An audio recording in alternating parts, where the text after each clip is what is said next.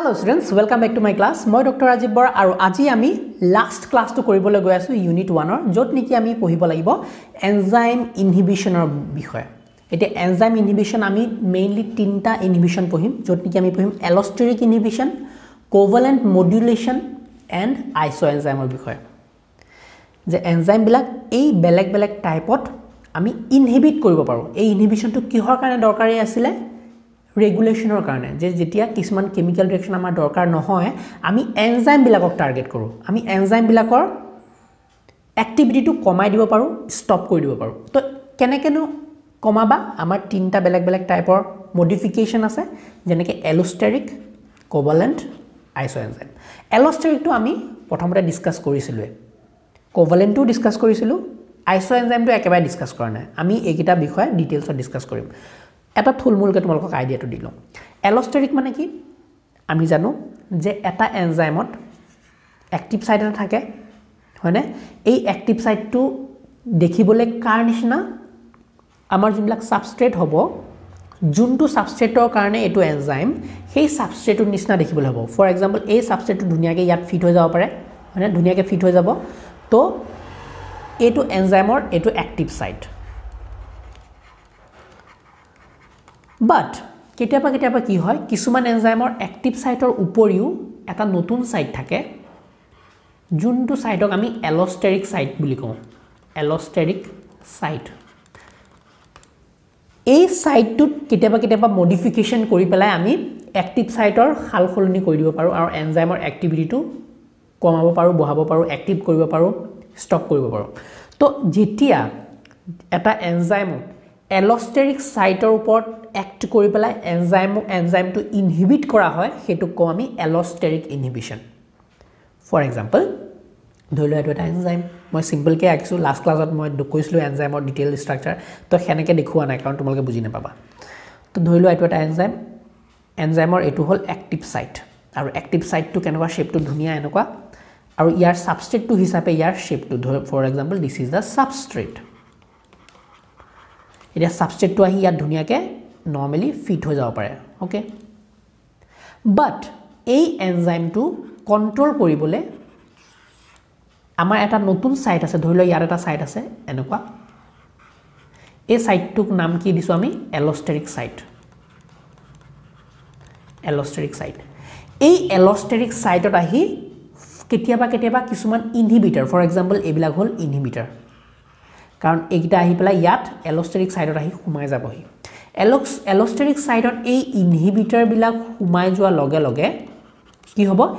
এই ছাইডটোৰ এই ছাইডটোৰ ষ্ট্ৰাকচাৰটো সলনি হ'ব। ফৰ এক্সাম্পল এই ছাইডটোৰ ষ্ট্ৰাকচাৰ এতিয়া হৈ গ'ল এনেকুৱা ধৰণৰ। এতিয়া ইয়াত আহি ধুনীয়াকৈ ফিট হ'ব পাৰিবনে ছাবষ্টেটটো নোৱাৰে। তো কি হ'ব? এনজাইমৰ ৰিয়েকশ্যনটো ৰখি গ'ল। তো এইটো হ'ল এলষ্টেৰিক ইনহিবিশ্যন যে এলষ্টেৰিক ছাইটত কিবা এটা সোমাই পেলাই এনজাইমৰ এক্টিভ ছাইটৰ ষ্ট্ৰাকচাৰটো সলনি কৰি দিয়ে এনজাইমৰ শ্বেপটো মডুলেট কৰি দিয়ে আৰু ফাইনেলি এনজাইমৰ এক্টিভিটিটো ৰখাই দিয়ে। তো দিছ ইজ এলষ্টেৰিক ইনহিবিশ্যন। গম পালা? যদি কোভেলেণ্ট মডুলেশ্যনটো চাওঁ কোভেলেণ্ট মডুলেশ্যনটো কি হ'ব? মই এইখিনি মুচি দিছোঁ। কোভেলেণ্ট মডুলেশ্যনত কি হ'ব? কিছুমান এনজাইম আছে for example this is an enzyme. এই এনজাইমটোত কেতিয়াবা কেতিয়াবা কিছুমান গ্ৰুপ লগাই দিয়া হ'ব। কি গ্ৰুপ ফচফেট গ্ৰুপ হ'ব পাৰে। ফৰ এক্সাম্পল এই ইয়াত ফচফেট গ্ৰুপ এটা লগাই দিলে। এই ফচফেট গ্ৰুপ এটা লগাই দিয়াৰ লগে লগে এনজাইমটো এক্টিভ হৈ যাব। মই নন প্ৰটিন আৰু প্ৰটিন যোনটো আমি লাষ্ট ক্লাছ কৰিছিলোঁ সেইটো ডিছকাছ কৰা নাই। সেইকেইটাতো থাকিবই। তাৰ উপৰিও কেতিয়াবা কেতিয়াবা ফচফেট গ্ৰুপটো এডিশ্যন কৰিব লাগে তেতিয়া এনজাইমটো এক্টিভ হ'ব। বা এই ফচফেট গ্ৰুপটো কেতিয়াবা কেতিয়াবা কোভেলেণ্ট মডিফিকেশ্যন কৰি যদি আঁতৰাই দিয়া তেতিয়া এনজাইমটো ইনএক্টিভ হৈ যাব। ফৰ এক্সাম্পল আমাৰ কিছুমান প্ৰটিন আছে। For example protein kinase protein kinase protein কাইনেজৰ কাম কি? যেতিয়াই কাইনেজ দেখিবা এহেঁতৰ কাম কি মানে? They can add phosphate group তো এইটো এনজাইমত for example this is an enzyme enzyme A তো এনজাইমত যেতিয়াই ফচফেট গ্ৰুপ এটা লগাই দিয়া হ'ব কোভালেণ্টলি এতিয়া এই কোভালেণ্ট মডিফিকেশ্যন ৰিভাৰ্চেবল হ'ব পাৰে ই ৰিভাৰ্চেবল হ'ব পাৰে। বুজিছা এই ৰিভাৰ্চেবল ৰিভাৰ্চেবল মানে কি? ফৰ এক্সাম্পল এইটো পি ফচফেটটো যে লগাই দিলে লগাই দিয়াৰ পিছত আকৌ অলপ সময়ৰ পিছত এই ফচফেটটো আঁতৰাইও দিব পাৰে। তো আঁতৰাব কোনে? এটা এটা প্ৰটিন আছে নতুন সেইটো নাম হ'ল প্ৰটিন ফচফাটেজ ফচফাটেজে কি কৰিব? ৰিমুভ ফচফেট গ্ৰুপ এইবিলাক সৰু সৰু কনচেপ্ট তোমালোকে বুজিব লাগিব তোমালোকে জানিব লাগিব। ফচফাটেজ নাম যেতিয়া শুনিব ফচফাটেজ সিহঁতে ফচফেট ৰিমুভ কৰিব। তো এইটো এনজাইমটো যদি ফচফেট গ্ৰুপ লগাই দিয়াৰ লগে লগে যেতিয়াই প্ৰটিন কাইনেছে ফচফেট গ্ৰুপটো লগাই দিলে ফৰ এক্সাম্পল এনজাইমটো এক্টিভ হৈ গ'ল। বাট কেতিয়াবা কেতিয়াবা ৰিভাৰ্চেবল মডিফিকেশ্যন কোভালেণ্ট মডিফিকেশ্যন হৈ পেলাই ফচফেট গ্ৰুপটো তোমালোকে আঁতৰাইও দিব পাৰা। চ' ৰিমুভ দিলে কোনে ৰিমুভ কৰিব? ফচফাটেজ প্ৰটিনটো আহি ৰিমুভ কৰি দিব ফচফেটটো কাটি পেলাই পেলাই দিব তেতিয়া এনজাইমটো আকৌ ইনএক্টিভ হৈ যাব। তো কনচেপ্টটো বুজিলানে? যে কেতিয়াবা কেতিয়াবা কিছুমান বস্তু এড কৰি পেলাই কিছুমান গ্ৰুপ এড কৰি পেলাই এনজাইমটো এক্টিভ কৰিব পাৰোঁ কিছুমান বস্তু আকৌ ৰিমুভ কৰি পেলাই এনজাইমটো ডিএক্টিভেট কৰিব পাৰোঁ। মানে ইন ইন ৰিটাৰ্ণ বা ফাইনেলি তোমালোকে কি কৰি আছা এনজাইমৰ এক্টিভিটিটো কণ্ট্ৰল কৰি আছা কেতিয়াবা এক্টিভ কৰিছা কেতিয়াবা ইনএক্টিভ কৰিছা। তো কভালেণ্ট মডিফিকেশ্যন ফচফৰাইলেশ্যন বা ফচফেট গ্ৰুপ এড কৰা বাহিৰেও আৰু বহুত বস্তু তোমালোকে এড বা ৰিমুভ কৰিব পাৰা। কেনেকুৱা গ্ৰুপ ফৰ এক্সাম্পল তোমালোকে এচিটাইল গ্ৰুপ এড বা ৰিমুভ কৰিব পাৰা। ফৰ এক্সাম্পল তোমালোকে মিথাইল গ্ৰুপ এড বা ৰিমুভ কৰিব পাৰা। ফৰ এক্সাম্পল তোমালোকে বেলেগ বেলেগ গ্ৰুপ আছে। হাইড্ৰক্সিল গ্ৰুপ এড বা ৰিমুভ কৰিব তো তেনেকৈ বস্তুবিলাক কোভালেণ্ট মডুলেশ্যন কৰা হয়। ফাইনেলি আমি যাম আইচ'জাইমৰ কথা। আইচ'জাইমটো কি বস্তু ভাই? খুব ইণ্টাৰেষ্টিং দেই মনত ৰাখিবা। আইচ'জাইম মানে কি? হোৱাট আৰ আইচ'জাইমছ আইচ'জাইম মানে হ'ল যাৰ ষ্ট্ৰাকচাৰটো ডিফাৰেণ্ট ছিকুৱেঞ্চ ডিফাৰেণ্ট যোনবিলাক enzyme the enzyme that are structurally different enzymes that are structurally different but perform the same chemical reaction. But perform the same chemical reaction সেইবিলাকক কওঁ আমি আইচোজাম চেম কেমিকেল ৰিয়েকশ্যন সেইবিলাকক আমি কি বুলি কওঁ আইচোজাইম ফৰ এক্সাম্পল এইটো এটা এনজাইম দেখিছেনে এইটো এনজাইমৰ শ্বেপটো ফৰ এক্সাম্পল এনেকুৱা এনজাইম ওৱান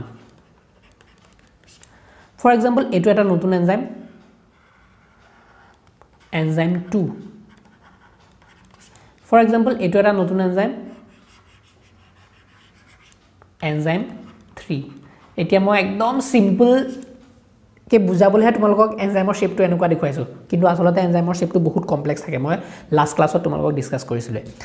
এতিয়া আইচ' এনজাইম মানে কি? মই যদি কওঁ enzyme one two and three are isozyme মানে কি বুজাবা?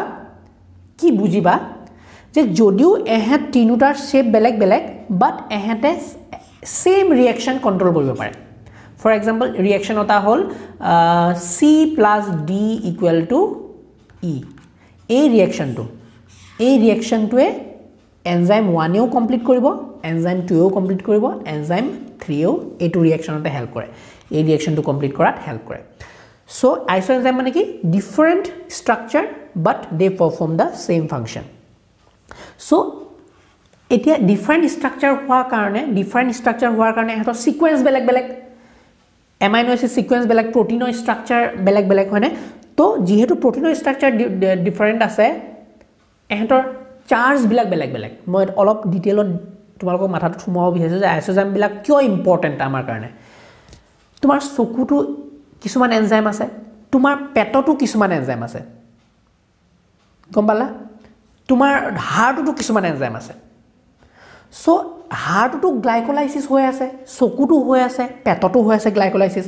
এতিয়া যদি এই গোটেইকেইটা এনজাইম ছেইম টাইপৰ হ'লহেঁতেন ছেইম এনজাইম হ'লহেঁতেন তেতিয়া হয়তো চকুত তোমালোকৰ যোনটো পৰিৱেশ যোনটো এনভাইৰমেণ্ট তাৰ এনভাইৰমেণ্টৰ লগত হাৰ্টৰ এনভাইৰমেণ্টটো নিমিলিব পাৰে।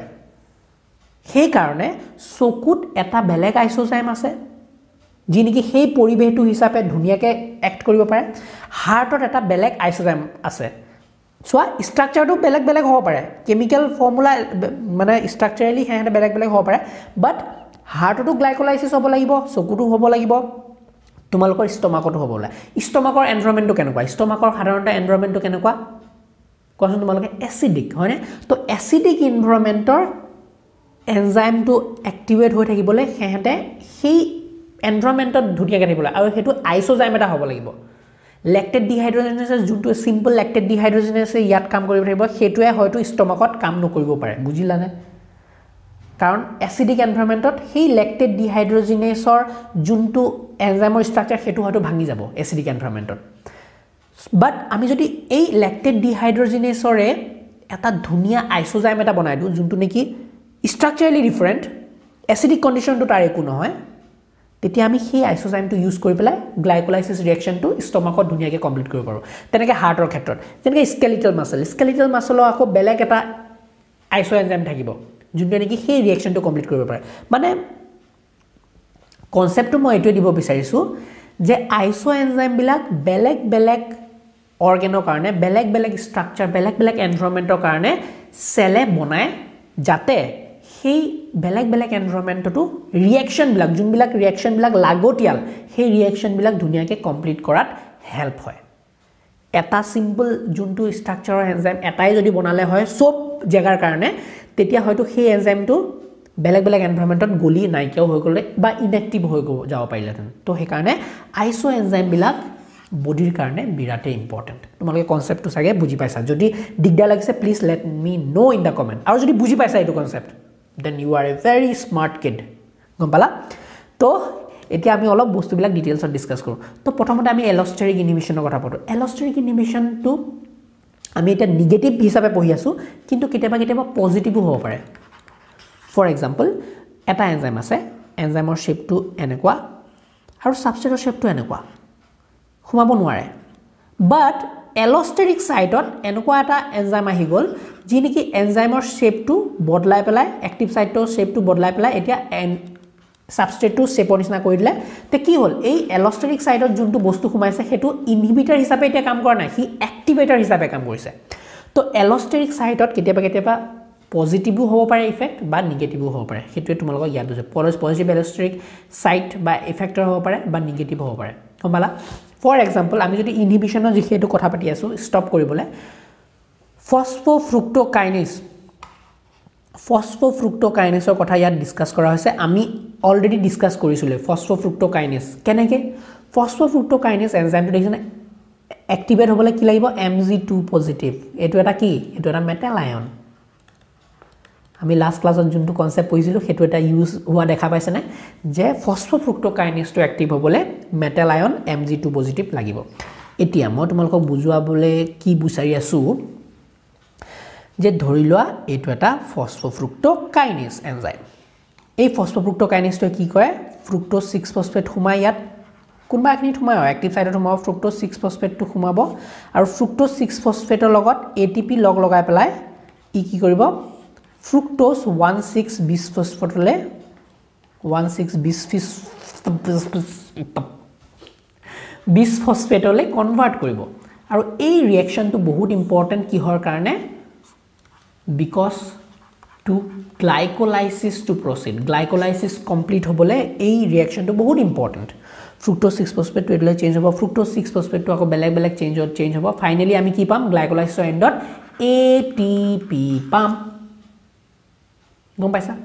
এতিয়া এই এ টি পি যে পাই আছোঁ চেলৰ ভিতৰত যদি অতি মাত্ৰাত এ টি পি হৈ যায় এই এ টি পিটোৱে ফিডবেক ইনহিবিশ্যন হিচাপে কাম কৰে। মই লাষ্ট প্ৰথম ছেকেণ্ড ক্লাছটোত চাগে কৈছিলোঁ। ৰেগুলেশ্যনটো শিকাওঁতে। ফিডবেক ৰেগুলেশ্যন কৰি পেলাই কি হ'ব? এ টি পিটো আহি পেলাই লাগি যাব তোমাৰ ফস্ফোফ্ৰুক্টোকাইনিছ ইয়াত লাগি যাব। ফস্ফোফ্ৰুক্টোকাইনিছ লগত লাগি লগালে fructose one fructose six percent য'ত সোমাইছিলে সি সোমাব পাৰিবনে? ন' চান্সে নাই সোমাব নোৱাৰে আৰু ৰিয়েকশ্যনটো কমপ্লিট নহয়। মানে এলষ্টেৰিক ইনহিবিশ্যন কৰি দিলে। পালা? তোমালোকে বুজিলে। মই ইমান ডিটেইলছত বাৰে বাৰে বস্তু এটা ৰিপিট কৰি থকা একো অৰ্থই নাই। তো এলষ্টেৰিক ইনহিবিশ্যনটো বুজি পালা? মানে বস্তু এটা এলষ্টেৰিকেলি বাইণ্ড কৰিব আৰু এনজাইমটো ডিএক্টিভেট কৰিব। নেক্সট তোমালোকে বুজিব লাগিব কোভেলেণ্ট মডুলেশ্যন কোভেলেণ্ট মডুলেশ্যন কি কৰিব? চিম্পলি কিবা এটা বস্তু এড কৰিব এক্টিভেট কৰিব। বা আকৌ নাইকিয়া উলিয়াই দিলে ডিএক্টিভেট কৰিব। মেইনলি চোৱা গ্লাইক'জেন ইয়াত এনজাইম ইয়াত তোমালোকৰ এক্সাম্পল হিচাপে দেখুওৱা হৈছে যে গ্লাইক'জেন যোনটো আছে গ্লাইক'জেন গ্লাইক'জেন ফচফৰালাইজ নামৰ এটা এনজাইম আছে। সেই ফচফৰ গ্লাইক'জেন ফচফৰালাইজ এনজাইমটোৱে তোমালোকৰ ফছফেট গ্ৰুপবিলাক এড কৰি পেলাই ফছফেট গ্ৰুপ এইটো দেই এইচ পি অ' ফ'ৰ মানে ফছফেট এনেকৈ থাকে। তো ফছফেট গ্ৰুপটো এড কৰি এইটো ফছফেট গ্ৰুপটো আহিল ক'ৰ পৰা? এ টি পিৰ পৰা আহিছে মন কৰিবা। এ টি পিৰ পৰা ফছফেট গ্ৰুপটো লৈ পেলাই এই গ্লাইক'জেনত লগাই দিয়ে আৰু গ্লাইক'জেনবিলাক টুকুৰা টুকুৰকৈ ভাঙি দিয়ে। গ্লাইক'জেনটো এতিয়া গ্লুক'জ ওৱান ফছফেটলৈ কনভাৰ্ট কৰিছে আৰু গ্লাইক'জেন ৰেচিডিঅ'লৈ কনভাৰ্ট কৰিছে। মানে কোভালেণ্ট মডুলেশ্যন কৰিব কৰিব তেতিয়াহে পাৰিব যেতিয়া ফছফেট গ্ৰুপ এটা লগাই দিব। গ্লাইক'জেন ফছফৰাইলাইছে গ্লাইক'জেন ফছফৰাইলাইছৰ ওপৰত ফছফেট গ্ৰুপ এটা লাগি গ'লে ই এক্টিভ হ'ব আৰু এই ৰিয়েকশ্যনটো কমপ্লিট কৰিব। এতিয়া হেক্সকাইনেছৰ ক্ষেত্ৰতো একেই। হেক্সকাইনেছত কি হয়? যেতিয়া ফছফেট গ্ৰুপ লগাই দিয়ে তেতিয়া হেক্সকাইনেছে এক্টিভ হয়। এক্টিভ হৈ পেলাই তোমাৰ এই ৰিয়েকশ্যনটো কমপ্লিট কৰে glucose changes to glucose six phosphate তো এনেকৈ কোভালেণ্ট মডুলেশ্যন হয় য'ত নেকি বেলেগ বেলেগ টাইপৰো আমি মডুলেশ্যন দেখা পাওঁ। আৰু সাধাৰণতে এই মডুলেশ্যনবিলাক ক'ত হ'ব? টাইৰচিন চিৰিন থ্ৰিঅনিন হিষ্টিডিন এইকেইটা এৰিয়াত হ'ব।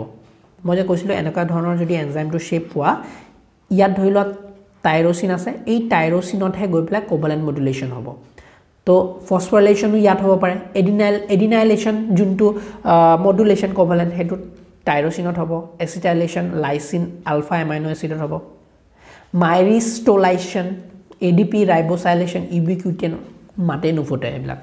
মুঠতে পৰীক্ষাত লিখিবলৈ তোমালোকে এইবিলাক বস্তু অলপ মনত ৰাখিলে হ'ল। বাট মেইন কনচেপ্টটো কি? কোভালেণ্ট মডুলেশ্যন মানে যে কিছুমান এনজাইম এক্টিভ হ'বলৈ কিছুমান গ্ৰুপ লাগিব লাগিব তেতিয়া এক্টিভ হ'ব। আকৌ সেইটো গ্ৰুপ যদি আঁতৰাই দিয়া সেই এনজাইমটো ডিএক্টিভেট হৈ যাব। বুজি পালা? Simple covalent modulation finally iso' enzyme iso' এনজাইমৰ কথা মই ডিটেইলছত ক'লোৱে এক্সাম্পল যদি চোৱা এক্সাম্পলত তোমালোকে দেখিবা this are example where alpha amylase glucokinase lactate dehydrogenase এইবিলাক হ'ল আইচ' এনজাইম যি নেকি কাৰ্বহাইড্ৰেটত এক্ট কৰিব আৰু বেলেগ বেলেগ জেগাত বেলেগ বেলেগ ৰিয়েকশ্যনছ কমপ্লিট কৰা হেল্প কৰিব। বাট এইবিলাক হ'ল গোটেইবিলাক iso' enzyme structurally different but perform the same function আৰু চোৱা catalyse the same reaction iso' enzyme differ in amino acid and physical properties physical প্ৰপাৰ্টিজতো চেঞ্জ আহিব। যেতিয়া যেতিয়া এমাইনো এচিডৰ ছিকুৱেঞ্চ বেলেগ বেলেগ হ'ব ইয়াত ধৰি লোৱা থ্ৰিঅনিন আছে থ্ৰিঅনিন লাইচিন মিথিঅনিন টাইৰচিন এনেকুৱা বেলেগ বেলেগ আছে। আৰু ইটো এনজাইমত আছে ধৰি লোৱা এছপাৰ্টিক এচিড গ্লুটামিক এচিড হয়নে? ট্ৰিপ্থফেন এনেকৈ আছে। তো যিহেতু এমাইনো এচিডৰ ছিকুৱেঞ্চ বেলেগ বেলেগ এহেঁতৰ ফিজিকেল প্ৰপাৰ্টিবিলাক বেলেগ বেলেগ হ'ব। ইয়াৰ চাৰ্জ বেলেগ থাকিব পাৰে। এইটোৰ চাৰ্জ হ'ব পাৰে পজিটিভ মে বি বা ইয়াত চাৰ্জ নিউট্ৰেল আৰু এই বেলেগ বেলেগ প্ৰপাৰ্টিৰ কাৰণে যোনটো চাৰ্জ পায় সেই চাৰ্জটো বহুত ইম্পৰ্টেণ্ট সেই পৰিৱেশটোৰ লগত জীয়াই থাকিবলৈ। হয়নে? Separate on the basis of charge tissue specific চোৱা। Different iso' enzyme may arise from different tissues and their specific detection may give clues to the site of pathology আমি বেমাৰো উলিয়াব পাৰোঁ। বেলেগ বেলেগ আইচ' এনজাইম কোনখিনি এৰিয়াত এক্টিভ হৈ আছে সেইটো আমি চাই পেলাই আমি সেই মানুহজন কেনেকুৱা ধৰণৰ বেমাৰ হৈ আছে সেইটো উলিয়াব পাৰোঁ। আইচ' এনজাইমবিলাক ষ্টাডি কৰি পেলাই। তো চোৱা আইচ' এনজাইমবিলাক কেনেকৈ ডেভেলপ হয়? ফৰ এক্সাম্পল আইচ' এনজাইমবিলাক ডেভেলপ হয় বেলেগ বেলেগ জিনৰ পৰা। জিন বিয়ে এটা আইচ' এনজাইম দিব বি জিন চিয়ে এটা আইচ' এনজাইম দিব চি জিন ডিয়ে এটা আইচ' এনজাইম দিব ডি জিন ইয়ে দিব আইচ' এনজাইম ই। বাট এইবিলাক আইচ'জাইমে একেধৰণৰ ৰিয়েকশ্যন কমপ্লিট কৰিব বেলেগ বেলেগ পৰিৱেশত। যেনেকৈ মাছল চেলত আইচ' এনজাইম বি টুৰ ফাংচন একেই কিন্তু। ষ্টমাকত আইচ' এনজাইম চি টুৰ ফাংচন বিৰ লগত একেই। বাট যিহেতু বেলেগ পৰিৱেশত আছে আইচ'জাইম হিচাপে সিহঁতে কাম কৰি আছে। যেনিবা এম্ব্ৰিঅ'ত এইটো আইচ'জাইম দিয়ে কাম কৰিব। নৰ্মেল কেঞ্চাৰাছ চেলত কেতিয়াবা আইচ'জাইম ই ই টাইপৰ এনজাইমবিলাকে কাম কৰিব। তোমালোকে কনচেপ্টটো অলৰেডি বুজি পাইছা so' this was all about enzyme inhibition তিনিটা ধৰণৰ এনজাইম ইনহিবিশ্যন পালোঁ allosteric covalent modulation and iso' enzyme I hope ক্লাছটো ভাল লাগিলে। ক্লাছটো বুজি পালা। যদি বুজি পাইছা প্লিজ ভিডিঅ'টো লাইক এটা কৰিবা। Subscribe to the channel and share with your friends যাতে বেলেগ ষ্টুডেণ্টছবিলাকৰো বেনিফিট হওক। Thank you so' much meet you in the next class বা বাই